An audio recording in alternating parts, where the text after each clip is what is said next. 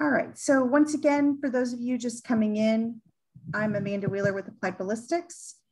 Tonight's class um, was supposed to be Where the Wind Matters with Dan Perriard. Unfortunately, Dan had something come up at the last minute, so he is not going to be here for this class. Um, we are in the process of rescheduling it and everyone who already signed up for it will automatically get an invite when we do that and i will keep you posted and send you an email and let you know about that. Um, but in the meantime i asked Bryan Litz if he would jump in tonight and talk ballistics and shooting and questions and answers and all those good things with you guys tonight. So with that here's Bryan Litz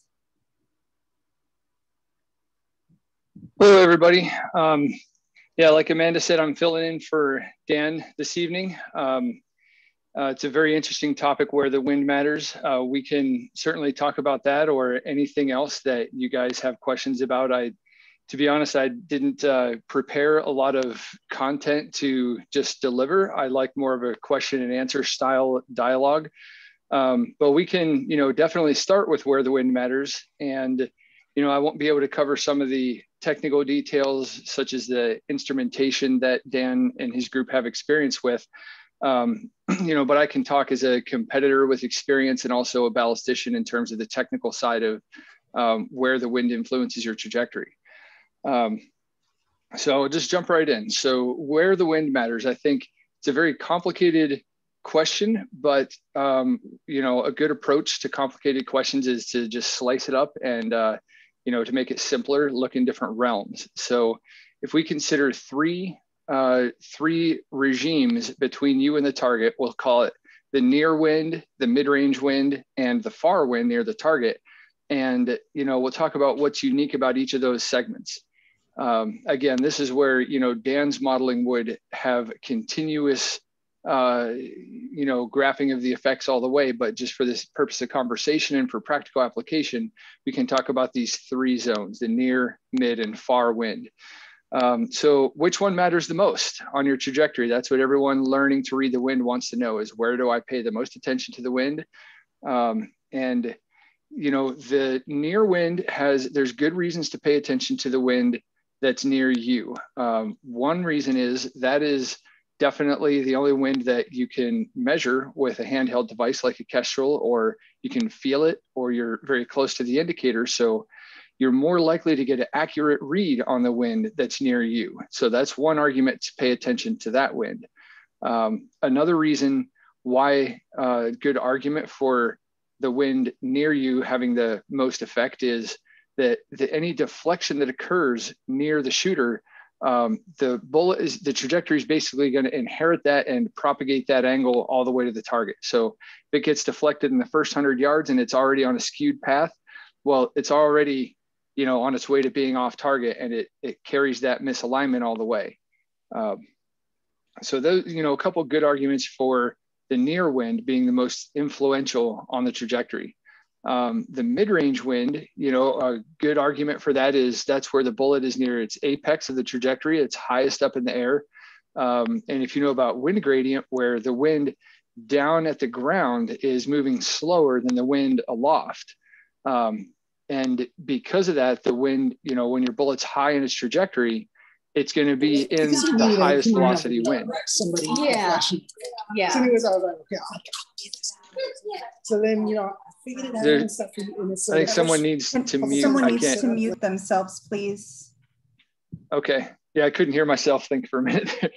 um, so yeah, the, the mid-range wind could also be very influential or important to watch because that's where your bullet is the highest up in the air and exposed to maybe the highest speed of wind, especially if you're shooting over a canyon, for example, where the ground kind of falls away from your line of sight and your bullet finds itself maybe hundreds of feet above the ground, way up in that high speed wind gradient, like, you know, across the canyon.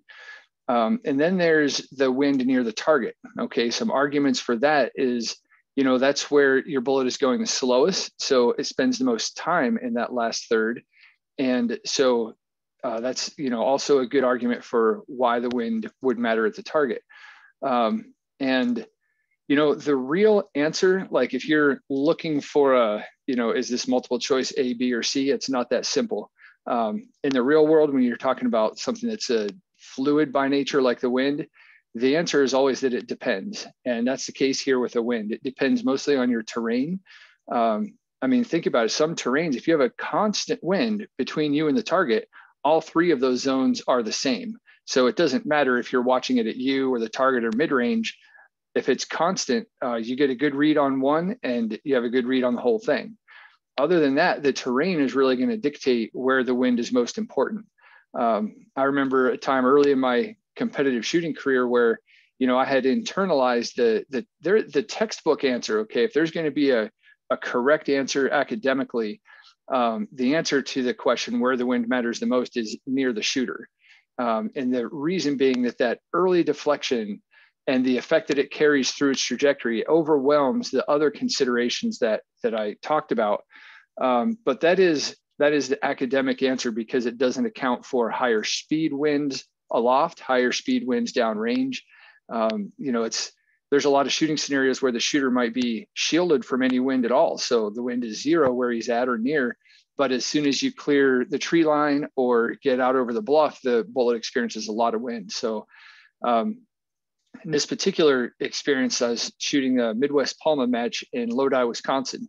And if you're familiar with that range, um, there's a, a, ravine that goes across about 200 yards in front of the targets. So like uh, 800 yards in front of the shooter, it's a thousand yard range and the flags are pretty easy to read down there. Well, I was under the impression that the wind near me mattered the most because I got just reading the textbook. And so I was paying attention to the flags near myself, and I was constantly surprised and disappointed by my wind reads not being accurate. Well, when I shift my focus to uh, the flags in that valley, because they my shots seem to correlate more to that, um, I started being able to read the wind a lot better on that range. And that's the key is that, you know, it's about the terrain and the local variations that you have through a certain terrain. Uh, so happened at that range that most of the range is shielded by trees. You know, it's kind of like a corridor cut in in the trees.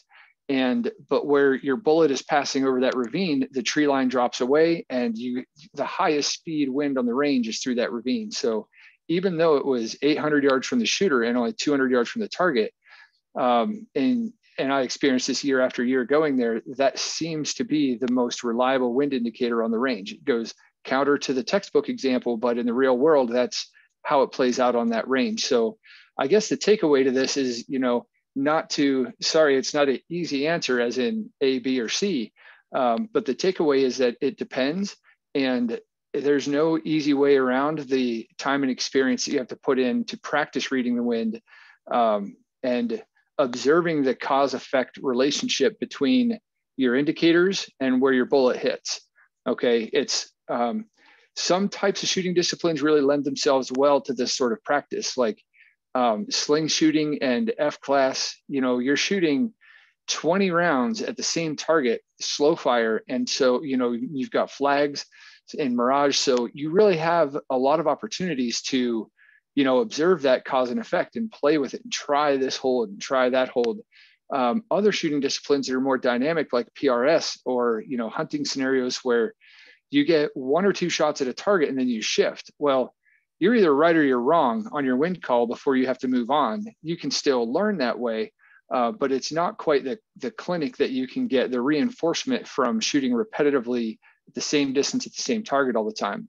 Um, so that's you know that's one key to learning how to read the wind and where it matters most uh, through experience is engage in shooting disciplines that give you the opportunity to observe that cause effect relationship um, and you know so you, you, pick a good discipline for that um, can help your training and help you be a better wind reader and there's certain equipment items too that will help you be a better wind reader um, a device like the Kestrel, for example, is you know a really good tool for learning to understand how fast the wind is blowing. You know, when I was really trying to move up the ranks in competition shooting, I had a Kestrel with me every time I was in the neighborhood walking the dog. Every time I was just out in a you know in an open field environment where I'm looking at the indicators, feeling the wind, and making a guess, and then take a measurement. And after you guess and measure enough times, that sort of educates your insight as to all right, I thought that was an eight miles an hour wind, but it's really a 12 mile an hour wind. So after enough cycles of that, you your insight gets more and more accurate. Um, so the Kestrel is a really good tool.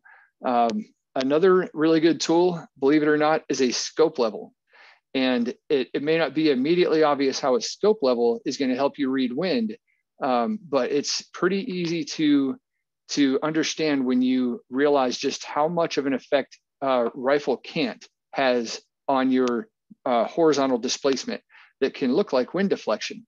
All right, so to go uh, have a short conversation about rifle cant, level is also, they're called anti-cant devices. That's the whole purpose of having one is so you don't uh, tilt the rifle left or right. And so what happens if you don't have a level or some way to reference what's horizontal and vertical, your human eye is only good to resolve plus or minus about three degrees of rotation or cant, which is pretty good. You know, it's we evolved with that ability. It hasn't held us back. But when you're engaging targets at distance, um, you're dealing with an instrument that's very sensitive to cant.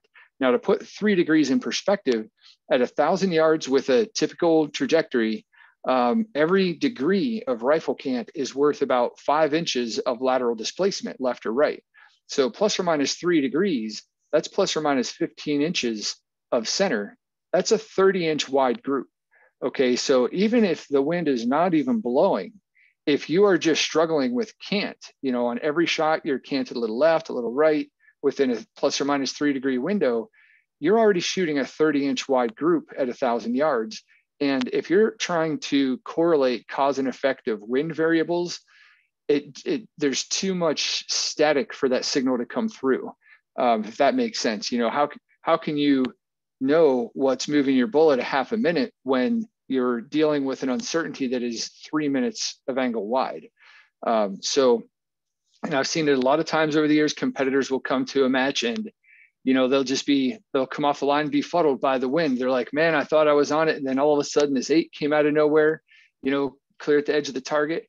And they're talking about how tricky the wind was. Well, anytime a shooter is talking about how tricky the wind was, and I don't think it's that tricky, most of the time it's because that shooter doesn't have a level on their scope that enables them to not suffer from the effects of cant because that's exactly what it looks like if you think that windage is the reason why your target would be wide why your group would be wide and you see your group wide that's what you're going to think it is. But in fact cant is another reason your group could be wide um, you might not uh, understand or know about.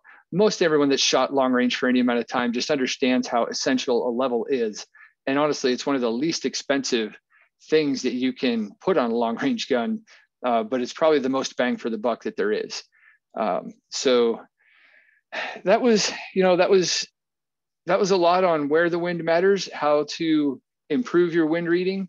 Um, I usually don't talk that long without taking questions or interacting. So um, if there have been questions coming in on the chat, Amanda, this would be a good time. Or somebody's got a question about what I've explained just now? Okay, so Ed um, Boss was wondering if you could talk a little bit about the value of reading Mirage. Okay, so the value of reading Mirage is is very location specific. Um, some conditions you just on some ranges and some terrains you just won't have Mirage. So first of all, you can't rely on it 100% of the time uh, as a wind indicator. Um, but if you if you study enough mirage in enough different places, it can be incredibly valuable. Um, you can use mirage to gauge the strength of the crosswind without doing the trig. And what I mean by that is most of the time when you're assessing the wind condition, you've got to do the speed and direction, right? That's a 10 mile an hour from two o'clock. Well, it's only just the crosswind component of that two o'clock wind that that really matters. So if you're doing it in your head, you've got to figure out you know, that's like 70% of 10 miles an hour. Um, but the beauty of the Mirage, the part of where the Mirage is valuable in this application is that you only see the crosswind component of it. So if you have a one o'clock wind, you know, it's that Mirage is not going to be crossing your line of sight as fast as the same speed wind from nine o'clock, if that makes sense.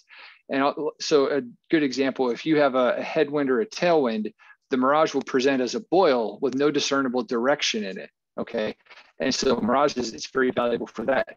Uh, just giving you like if you're looking straight at your target, any movement in the mirage that you see crossing your line of sight effectively is that's nature doing the trig for you and showing you only the crosswind component of whatever wind is blowing. Um, another thing that you can use Mirage for is to actually determine the wind direction. And the way you would do that is with usually a spotting scope because you can point that anywhere you want. You basically swivel your spotting scope around the range until you see a boil. And that is the no wind conditioner. that is where the wind is coming from or going to. Uh, but there's no cross component when you see a boil in the Mirage. So you can determine wind direction with Mirage. You can determine the effective crosswind speed with Mirage. Um, but it only is going to apply under certain conditions. And it takes a good amount of experience. And that experience, you you can be leaps and bounds ahead if you attach yourself to someone who knows how to do this well. You know, trying to figure it out on your own, you can do it, but it'll take you a lot longer than if you can um, learn from someone who can explain what you're looking at and explain what it means. Um, that's really the best way to learn Mirage uh, the quickest. Okay, so Evan is um, has a reloading question, and he says that he's having inconsistent muzzle velocities. What has the biggest effect on lowering your SDs and getting my muzzle velocity consistent? Um, he's re reloading for a 300 Norma using Retumbo with 230 grain Bergers, Berger OTMs, and Lapua brass. Okay. Um, I don't see what primers on there. Primer could be very important. Um, 215Ms are the primers that we use for that very combination of components. Uh, yep, 215M. So a um, couple things come to mind. First of all, that is a combination that should produce good standard deviations. And so if it doesn't, then something something is keeping it back. In other words, you're using all the right stuff. Um, there's just something wrong and it doesn't have to be with the ammo. Your ammo might actually have SDs in the single digits. Um, a lot of times it's a chronograph that will lead shooters to think that their loads are not good when they really are better than they think. Um, Evan, what kind of chronograph are you measuring? Okay, LabRadars are typically very good. If they're set up correctly, um, I wouldn't think you'd have a problem resolving SDs. Um, so another, let's see, Another issue you could be having is uh, the state of your barrel. Um, you know, and this goes for anything, not just 300 Normas in this condition, but we found that new barrels uh, with less than 200 rounds on them, it's it's nearly impossible to get standard deviations that are low. Um, yeah, so it's a new barrel, new from Barrett. Is it an MRAD? Yeah, okay. We have lots of experience with those. And so this, I'd be almost sure is the problem. If you got less than 200 rounds on that barrel, you're just not going to see consistently low SDs, no matter what the load is. The barrel isn't able to do it. Um, now, this is, this goes down a rabbit hole, but I would say the high points are to develop a consistent cleaning method that involves abrasives every 100 rounds, abrasives like JB bore paste, and do that every 100 rounds. And by, by the time you get 200 rounds on that barrel, um, you know, Retumbo, look at around 80 to 82 grains of Retumbo, or no, 230s. Look at around 78 to 80 grains of Retumbo with that load. Um, I think 3.615 is what what we load that to and maybe a little longer for the 230. And when that barrel's got over 200 rounds on it, if you've been cleaning with abrasives, you will see those SDs come down. Um, we have done a lot of life cycle testing on barrels from Barrett and MRADs with those very components, except mostly 215s, not 230s. Um, but there, there's no difference as far as the SDs go. And when I say life cycle testing, we run barrels through an entire like a thousand rounds, clean it every hundred rounds, and just shoot. And we shoot the same ammo from beginning to end, never changing the load because we're studying the barrel more so than the load. And what you know, we chart every single group is tracked with the radar and grouped on paper, and we can watch the consistency of muzzle velocities improve and get better and better until at 200 rounds and more. I say 200 rounds is a, you know, after 100 rounds, you'll start getting some groups with low SDs. Maybe one shot will be out, usually the first shot. But by the time you've got 200 rounds on it, you're going to start shooting groups with uh, really low SDs, and you don't have to change anything about your components. Um, unfortunately, I think that's a theme that a lot of hand loaders suffer from is they'll get a new barrel and start trying to work up a load and their SDs are not good. And so they keep trying and trying everything under the sun, every primer, every powder, moving to bullets that they wouldn't otherwise shoot. And lo and behold, about the time the barrel's got 200 rounds on it, everything starts shooting good. And the shooter may have dismissed a lot of loads that were good during the time that the barrel wasn't ready to shoot yet. Um, so let's see what else. I'm reading 338. Okay, yeah, that's a that's a really 90 grains is a really high load. Um, yeah, I wouldn't go that high with Retumbo with 230s in that. Uh, but I still don't think that's your problem. I think it's just that it's a new barrel. Um, 338 Lapua and MRAD, I don't know. Uh, we don't have as much experience with 338 Lapua, and we've done a lot of 300 Norma, but I would suspect that it, we have seen it in other cartridges 65 Creedmoor, 300 Norma, uh, 375 Enabler are the three cartridges that we have done the most life cycle testing on. And every one of them showed the same thing at about 200 rounds is where the SDs got to be the best and they stayed that way for the life of the barrel. Um, 6.5 Creedmoor, the effect was minimal, but it still showed an improvement at 200 rounds. Um, 300 Norma and 375 Enabler were there's a dramatic improvement in SDs at around 200 200 rounds. Um, so that's what I would say is don't worry about your hand loading. I don't think you're doing anything wrong. I think you're using good equipment. Uh, just give that barrel a chance to break in. Okay, Carlton um, says he's asking to, for us to discuss the impact of temperature. Carlton, if you want to come off of mute, are you talking temperature um, of what? Of the the day, like it's 90 degrees versus yes. shooting? Okay. Yes. so go ahead and, and explain what you're trying to ask. Yeah, are you looking at temperature effect on ammo or on the bullet in flight? Uh, both. Okay, so temperature effect on ammo, the principle is pretty straightforward that um, powders burn faster and hotter according to their initial temperature. Um, some are a lot more stable than others. There's there's some powders that hardly change velocity at all in the heat, and other powders that change dramatically. Um, to give it some perspective, when I say change hardly at all, like some of the best powders we've seen, they change velocity about uh, 0.1 feet per second per degree. That means over 100 degrees, your ammo is only speeding up 10 feet per second. Okay. On the more on the higher end of the extreme, we've uh, tested powders that were over one foot per second per degree. So let's say if it was 1.2 feet per second per degree, um, you're over a 100 degree span of temperature, your velocity is changing 120 feet per second. Um, that's pretty drastic. Um, it doesn't mean that it's a bad powder or that you can't use it. It just means that you've got a bit of a chore in monitoring what the exact temperature of your ammo is whenever you go to shoot so that you can accurately predict your muzzle velocity. Okay, we talk about ballistic solvers and garbage in, garbage out. All of your inputs have to be correct. Well, muzzle velocity, if you're using a, a powder that's not very temperature stable, then muzzle velocity gets to be a very important input that can be difficult to nail down due to the temperature.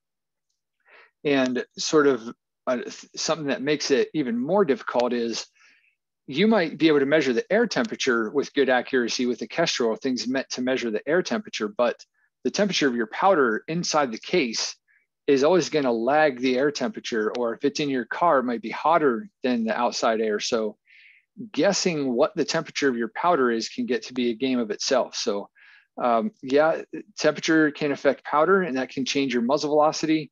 And the best way to go about testing that is to basically heat soak some rounds and cold soak some rounds and leave some at ambient and then shoot all three and see what velocities you get at the different temperature conditioned powder. And then you will have a at least a starting point to know, you know, at any temperature what velocity you can expect. Um, so that's temperature effect on ammo. Temperature effect on the bullet in flight. Uh, there's two major effects that temperature has on the bullet in flight, and they both have to do with the air. Um, one of them is just the obvious effect that temperature has on air density. So hotter air is thinner, less dense than colder air. That's why hotter air rises. So because it's less dense, it's easier for the bullet to fly through and your bullet has less drag, gets the target sooner, has less drop, less wind drift. All things, all ballistic performance measures are improved when the temperature is higher um, through reducing the effects of reducing air density. It's like going up in altitude, has the same effect. Um, but temperature has another effect on the air that is more subtle um, and really only affects you much around transonic. And what I'm referring to is the temperature's effect on the speed of sound. So the speed of sound through the air in standard conditions is uh, 1116 feet per second. And but that changes depending on the temperature. So if the temperature changes and the speed of sound changes that means the mach number of your bullet changes. And as the mach number of your bullet changes the drag coefficient changes. So you know even once you've taken into account the air density impact of temperature um, this and this is all done in the ballistic solver by the way. So don't think you've got to do any of this. Uh, this is all done behind the scenes. If you input the correct temperature, then our ballistic solver applies the effect to air density, and it also applies the shift to the speed of sound and the Mach number and the drag of your bullet.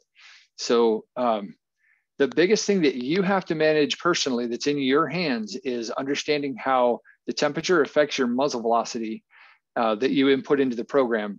Um, muzzle velocity is a big deal towards getting an accurate solution and temperature can really mess with that through um, you know through your ammos your powder sensitivity.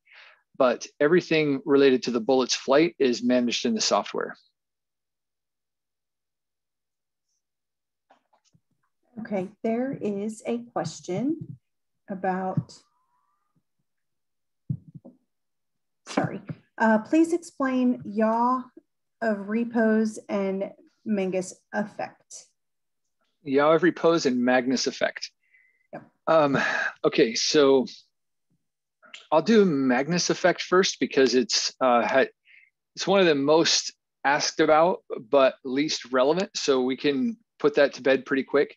Um, Magnus effect is the force that arises when uh, fluid flows over a body that's spinning. Okay, it's how curveballs curve. You throw a ball that's spun, and half of that ball is like moving towards the batter, so the airflow over that side is faster, and the the airflow around the other side, the side of the ball that's rotating back towards the pitcher, is moving slower in relation to the oncoming air. So that causes a pressure differential that applies a force and causes a thing to move. Same reason golf balls slice. Um, it's it's the force that's generated by air moving over a spinning body. Now, you say, well, bullets are spinning bodies. How's that not relevant? Well, the thing is that you need, in order to generate a Magnus force and a subsequent Magnus moment, the torque, um, you need the airflow to be going, um, like to be blowing over the body the deal with a bullet is it's always pointing its nose straight into the oncoming airflow. So there is no cross flow over the spinning body of the bullet. Um, there shouldn't be. If you have a bullet that's unstable, that's flying sideways or something, well, then yeah, you're going to get Magnus forces, and that's part of what disperses unstable bullets. But for bullets that are well behaved and flying like they should, Magnus effect is not uh, is not really at play. It's not really doing much. Um, so yaw of repose, on the other hand, is something that is a lot more common and a lot more relevant. Was it was it yaw of repose he asked about, or was it um, limit cycle yaw? Yaw, yaw of repose. Yep, yep, sorry. Okay, so yaw of repose, that is related to, that's what causes spin drift basically. So um, so when the bullet comes out of the barrel and it's flying, suppose there's no wind, it's going to fly straight out along the barrel's axis.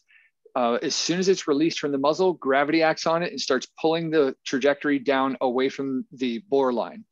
And as that happens, what you're introducing is a sort of the wind is kind of coming up, the airflow is coming up under the bullet's chin and causing the bullet to realign its axis with the oncoming airflow. And that oncoming airflow is ever bending with the trajectory. So the bullet has got to constantly realign its axis. Well, anytime that you force a spinning mass to realign its axis, uh, weird stuff happens. Like imagine a top on a table. There's a lot of things the top analogy doesn't work for, but this one should make the point. So if you have a top on the table that's not spinning, let's just say it's just perfectly balanced, and you push the stem, it just falls away from you naturally. But if it's spinning and you push on the stem, it doesn't just fall away from you, it corrects itself um, and it goes through a series of precession cycles and ends up in a different place. Um, and that's kind of what the yaw of repose is. That's how it arises, is that the bullet is spinning and as it bends and traces through its trajectory, the axis of the bullet is got is forced to rotate. And in response to that forced rotation, the bullet undergoes a series of very tiny precession cycles, much like the top, and it ends up pointing off axis in the direction of the spin rate. So to the right for right twists and to the left for left twists. So that's all the mechanism of it. But the basic definition is that the yaw of repose is the small lateral angle that the bullet makes in relation to the bore line um, that steers the bullet off its course and results in spin drift. And it's to the right for right twist and to the left for left twist. The angle itself is very small. We're talking like 0.02 degrees, point like it would be very difficult to measure if you like shot a you know a hole in the paper and you're like i don't see any angle well it's only enough to steer the bullet five or six inches at a thousand yards so it is a very tiny steering effect uh, but it is non-zero. So that's yaw of repose in Magnus. Okay, um, so Ed then asks, does anyone use vertical wind profiles effectively? Uh, does anyone use them effectively? I know some people that try to use them. I don't know how effective they are. Um, so I, am not sure I know how to answer that. Uh, vertical wind is, has the same effect as horizontal wind. Uh, the bullet doesn't really care what direction the wind's coming from. It, it reacts the same way. Um, the thing is that on planet Earth, you don't get much vertical wind through lines of sight. Okay, we're shooting from one place to another on the surface of the planet. And so the idea of the wind blowing up through or down through your line of sight, it's not impossible. Like you could be shooting from, you know, between canyons. And so there's a lot of room for that to develop but you usually only get uh, vertical winds over a short portion of the trajectory like at the edge of the canyon wall or um, usually it's not pervasive for the whole uh, trajectory. Um, and it would be very difficult to instrument and measure as to what the vertical wind field is and so no i'm talking about i'm talking about the vertical variation of crosswind so crosswind gets higher as you move up in in the ver- in the you know vertically. Okay. Yeah, so, you're talking about uh, wind gradient. Okay. Yeah. So yeah, I mentioned that earlier, and where the wind matters. So yeah, at, so everybody has experience with this, and you'll understand if we exaggerate it. So in any wind environment, if you get low enough, if you get all the way flat on the ground beneath the grass, the wind is not blowing down there. Okay, air might be moving, but the wind isn't blowing. You get a foot above the ground, and let's say from a prone firing position, the shooter can maybe feel some wind on his face. That's very different from the wind you feel on your face when you stand up. And that's only the difference of, you know, several feet.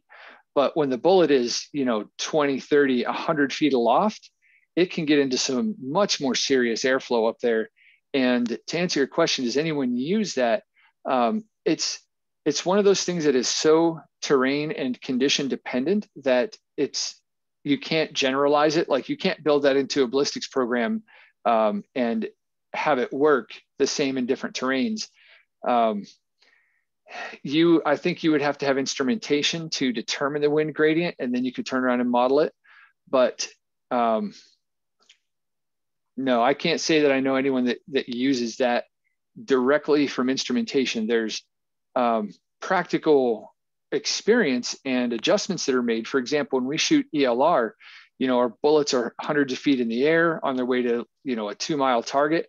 And for example, if we if we know we can read the wind at our location and we can see the target, and even if we nail that wind speed and direction 100% correct, we still add 20 or 30% to the wind call to account for the fact that the bullet is spending most of its time hundreds of feet above where our indicators are. So I suppose in that context, we do use knowledge of wind gradient to correct our fire solutions. Okay. Susan is wondering if you can um, give a little breakdown on how you think it's best to break in a barrel, i.e. shoot X number of rounds, clean, shoot X number of rounds, clean, so on, so on. Um, yeah, that's a good question. There's a lot of opinions about that, and I won't say any of them are wrong.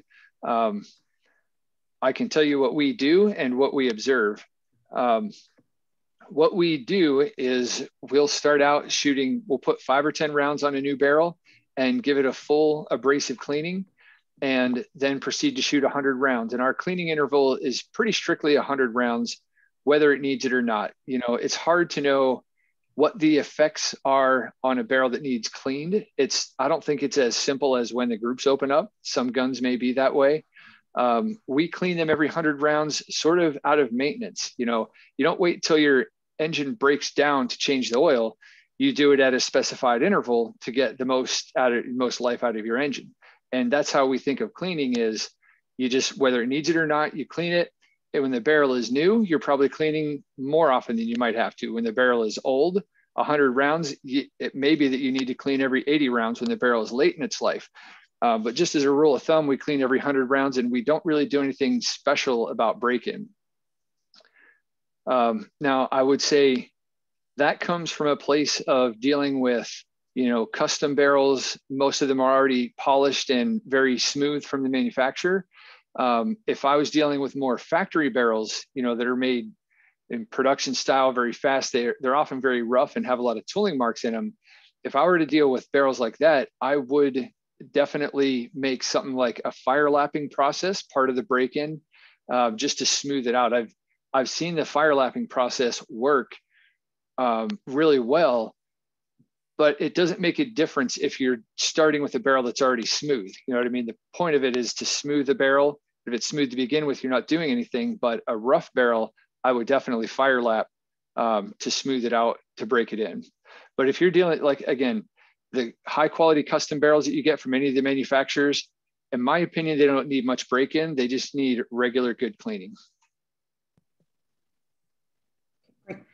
Um, Greg says, okay, here's his question. Which data object in the AB solvers or applications do I get to see the maximum height of the bullet's trajectory?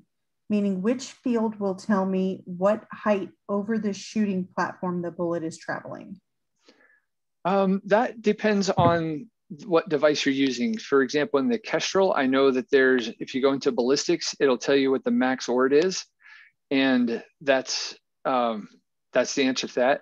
But in, regardless of what tool you're using, if you can print a range card, um, you can always figure that out. Let's say, suppose your target's at a thousand yards, and you put your zero at a thousand yards. Okay, then you look at your table, your range card, and you'll see that your bullet is, you know, you'll basically be able to trace out the arc of it and you just go down the table and look for the highest number and that's that's the highest that your bullet gets so you can find your max ord with any ballistics program that gives you a table if you set your zero range at the target.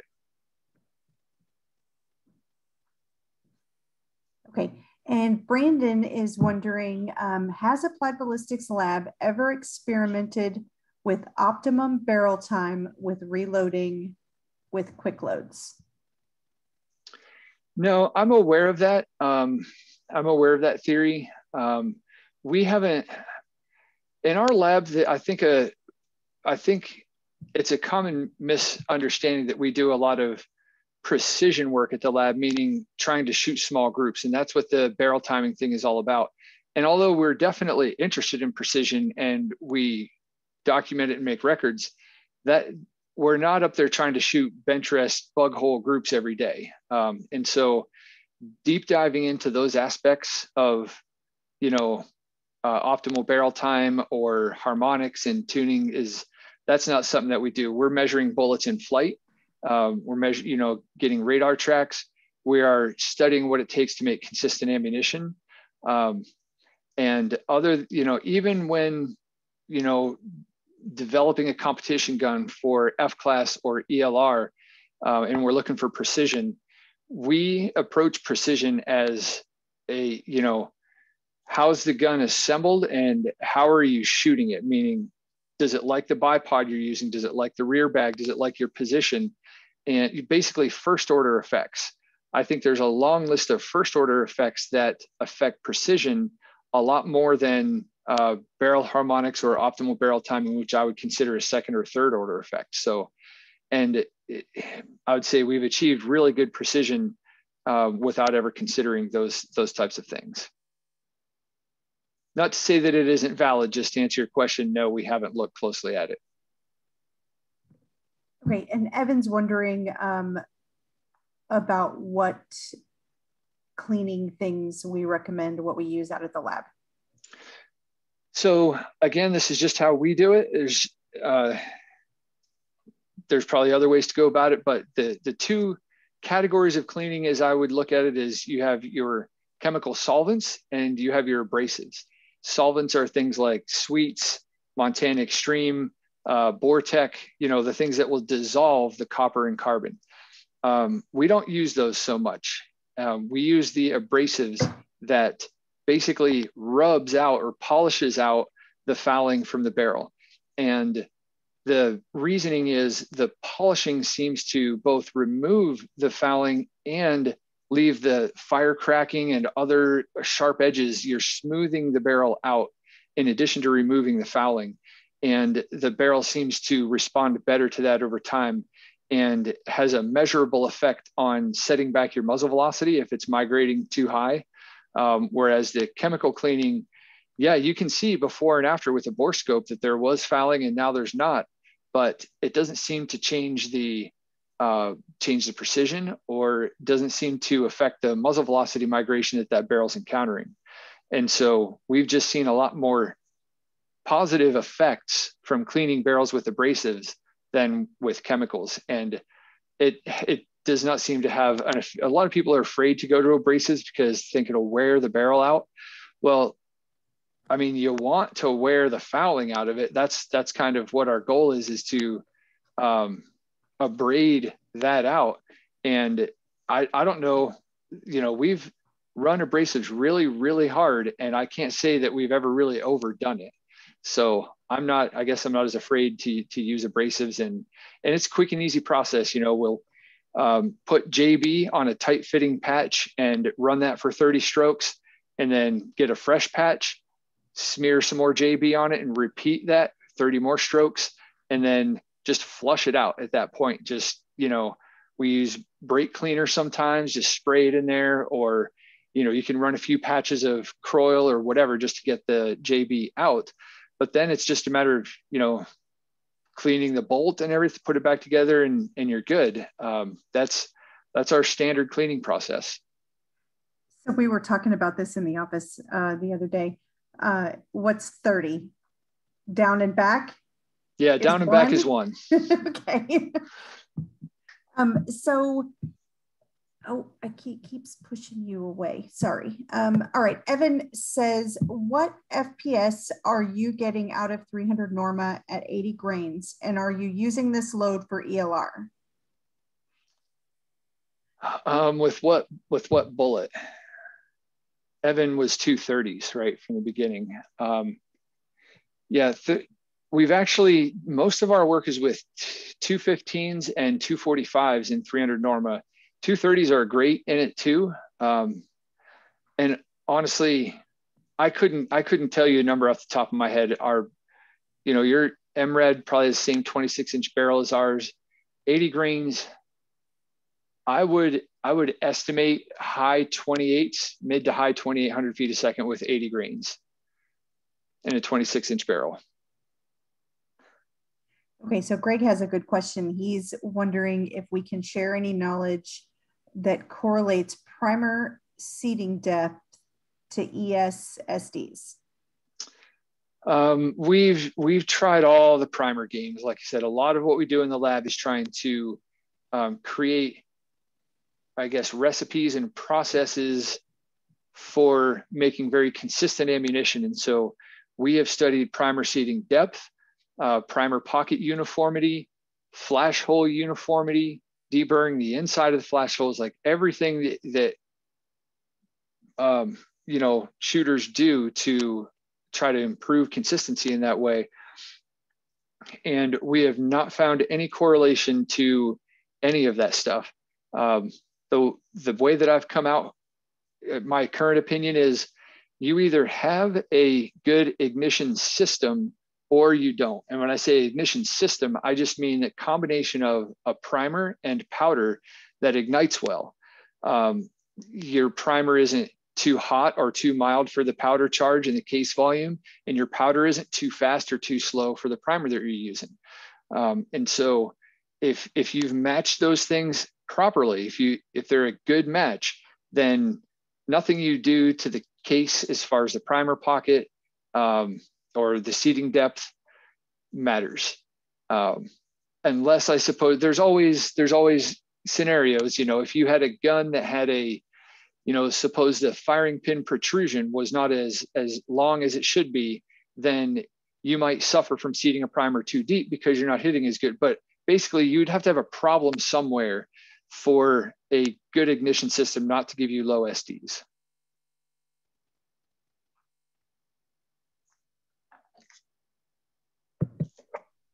Okay. Um, if I accidentally skipped your question, um, call me out in the chat. We're going to go for another five minutes or so, and then we're going to wrap things up for the evening. Um, but I do have a question here. Do we, every time you guys type, ah, do you recommend pointing bullets and trimming? Um, that's a big, it depends. Um, so the, the big reason you would trim bullets is to create uniformity. Okay, that's the only benefit that it has. It lowers BC, but it makes it more consistent. And so if you have bullets that are that have very inconsistent meplats, then you would benefit a lot from trimming them. Um, but if you if you're using quality consistent bullets that have very consistent meplats, then you're not going to gain anything from trimming them. So that's that's what trimming depends on is how uniform are your bullets to begin with. Um, and then pointing bullets, um, pointing has two, it does two things. One, it makes the bullets more uniform and it also increases the BC slightly. We're talking, you know, two to 4%, which that's actually, you know, 4% is actually quite a boost. It's pretty easy to get just from pointing. So even if you have uniform bullets, you could benefit by increasing the BC through pointing. Um, and if you had uh, bullets that were not uniform, then pointing them would make them more uniform and a little higher BC. And that BC uniformity that you get from trimming and pointing is important at long distance. Uh, that's going to determine how well your group stays together vertically. If your shots are very inconsistent in BC from shot to shot, your group will spread out, just like having a bad SD and muzzle velocity. Okay. Um, in calibers like 308 and 65 Creed, where you can um, use a small rifle or a large rifle primer, are we have we done any testing on that to see if there's a difference? Yep. Um, so in 308, I shot a lot of 308 in Palma and F class, everything from 155s to 215s. And I did not notice any benefit in SDs for the small rifle primers. Um, but what you do get is a more robust case head. Uh, a lot of times you fire brass a number of times, and what you know what wears it out is the the primer pocket loosens under pressure, so you may only get three or four firings. But the small rifle primer brass, um, it, there's a lot more brass there. It'll hold a primer. The brass lasts longer, so that's the benefit there. Um, in 6.5 Creedmoor, we did some development and found that the small rifle primers were a lot better whenever you're using faster burning powders, as in uh, lighter bullets or shorter barrels, is whenever you would want a faster burning powder. And the small primers do a lot better with that faster burning powder combination. What you don't want is the small primer with a slow burning powder or a large primer with a slow burning, uh, fast burning powder. So again, it's about matching that ignition system. If you get it if you if you have a a need to run a fast burning powder, that is probably what's going to determine whether you should have a small or large primer. Um, also, you know, also considering what I mentioned with the 308 is, you know, how long you want your brass to last and how much pressure you're loading to. So everything is it depends. That's the answer to nearly every question.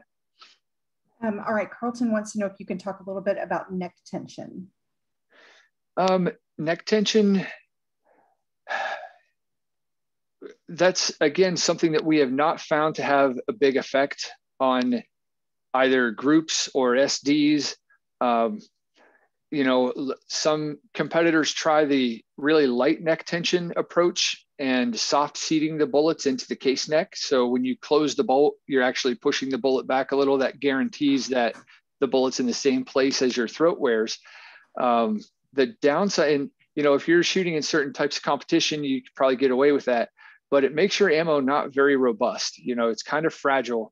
I've known shooters that have gone to matches with ammo like that and driven across a few states, and they get there, they open their ammo box, and like half the bullets have fallen down in the cases. Um, also, if you chamber around and then try to unload it, those bullets often can stick in the throat, and you get powder everywhere, and your gun is down, and it's a big problem. Um, so I don't think that there's ever a reason that you would have to uh, seat with such light neck tension. And so I would, you know, I would recommend using, you know, a good amount, three or four thousandths of neck tension, hold the bullet in place so that your ammo is reliable, so that it's not fragile. I don't think that you'd ever find a genuine result where the gun just doesn't shoot groups unless you have light neck tension. You know, we've we've gotten lots of guns to shoot really good and haven't deliberately loaded that light of neck tension in a lot of years. Okay, I'm going to roll this next question, two questions into kind of one question. Um, so, ELR and suppressors versus shooting not suppressed, do you notice any advantages or disadvantages to one or the other? And how then can you roll that into talking a little bit about muzzle brakes and how they affect the bullet flight? Yep. So um, muzzle brakes are virtually a necessity for the large calibers we shoot in ELR just to manage recoil. Um, the problem is the concussion, right? It's downright damaging. The levels of concussion, I don't think people realize how serious um, you can sustain legitimate brain injury from being exposed to that kind of concussion for long enough uh, enough times. Um, and so suppressors are, are really nice to have. The, the practical benefits that you get from a suppressor is obviously the concussion is gone.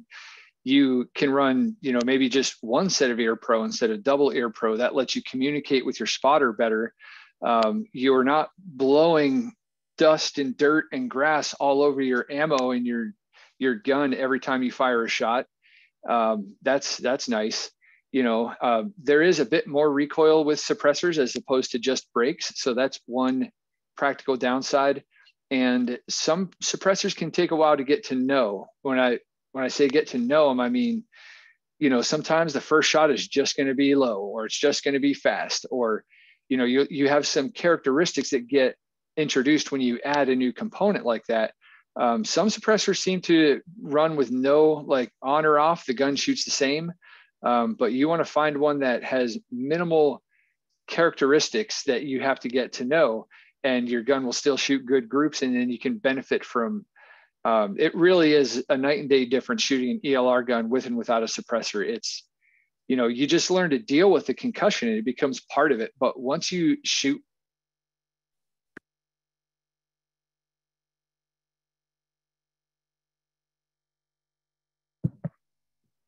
Bryan, Bryan, we can't hear you now that your headphones. Can you um, maybe do your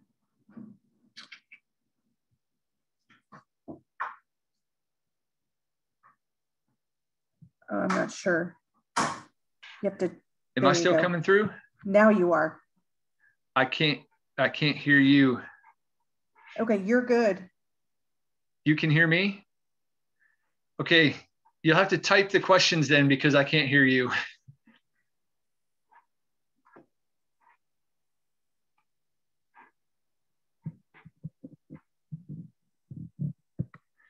Um, Okay, I see a question here about uh, do, would you say that practicing wind reading for 22 PRS ELR uh, is directly transferable?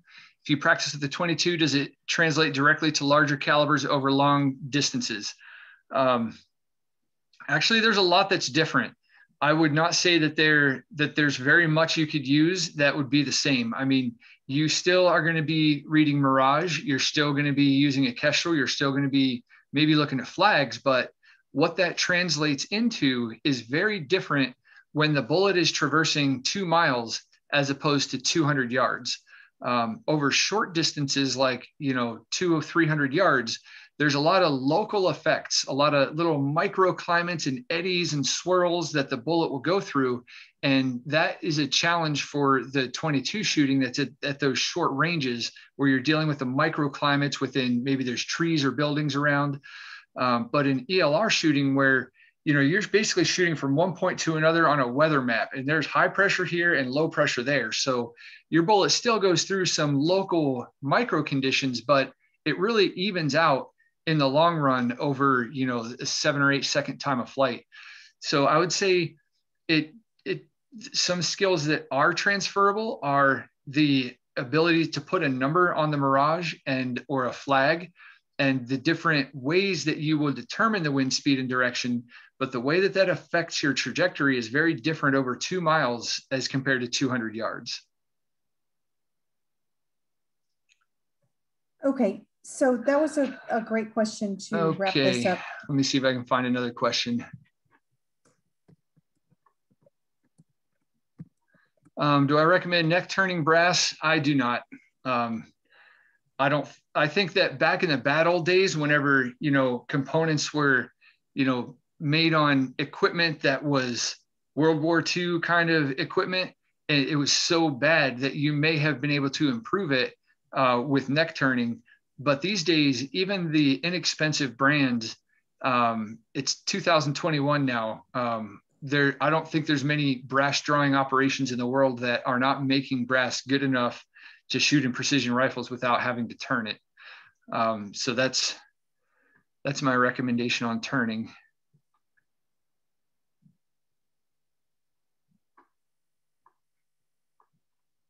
Yeah, I'm scrolling up. I don't see any questions that we haven't got to. Um, looks like Amanda says we're going to wrap it up.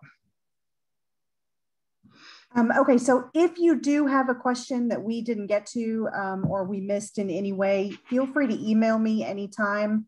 Um, it's amanda.wheeler at appliedballisticsllc.com. And like I said, um, when I can get rescheduled with Dan, all of you will be invited back to Where the Wind Matters. Um, Bryan, thank you so much for jumping in and doing this for us last minute. I appreciate everyone. Have a great evening. Good night.